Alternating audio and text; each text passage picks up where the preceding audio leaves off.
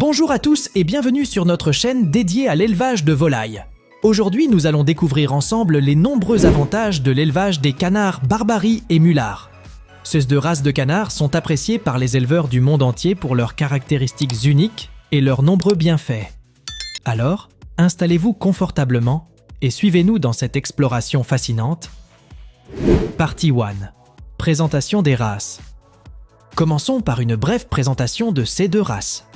Le canard Barbarie est originaire d'Amérique du Sud et se distingue par son plumage blanc ou noir et blanc, ainsi que par sa tête rouge vif. Ce canard est particulièrement apprécié pour sa chair maigre et savoureuse.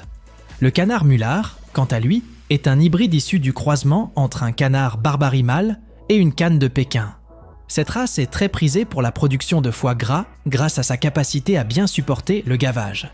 De plus, les mulards sont connus pour leur robustesse et leur adaptabilité à différents environnements. Partie 2. Avantages de l'élevage de canards barbarie. Voyons maintenant les avantages spécifiques à l'élevage de canards. Barbarie. Viande de qualité. La chair du canard barbarie est réputée pour être maigre et très savoureuse, ce qui en fait un choix de premier ordre pour les consommateurs soucieux de leur alimentation. Faible. Entretien. Les canards barbaries sont relativement faciles à élever. Ils nécessitent peu de soins spécialisés et s'adaptent bien à différents climats et environnements. Comportement calme. Contrairement à d'autres races de canards, les barbaries sont connus pour leur comportement calme et paisible. Ils sont moins bruyants, ce qui est un avantage pour les éleveurs qui vivent à proximité de voisins. Production d'ouf. En plus de leur viande, les canards barbaries pondent des œufs qui peuvent être consommés ou utilisés pour la reproduction. Partie tri, avantages de l'élevage de canards mulards.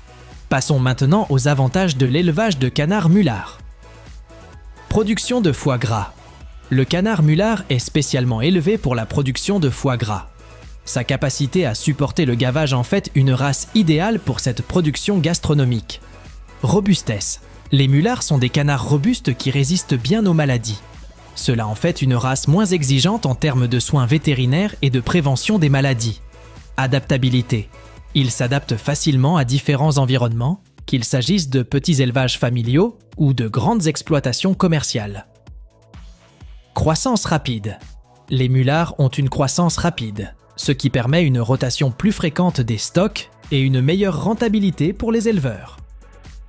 Polyvalence. En plus du foie gras, les mulards fournissent également une viande de haute qualité, appréciée pour sa texture et son goût. En conclusion, l'élevage de canards barbarie et mulards présente de nombreux avantages, que ce soit pour la production de viande, de ou de foie gras.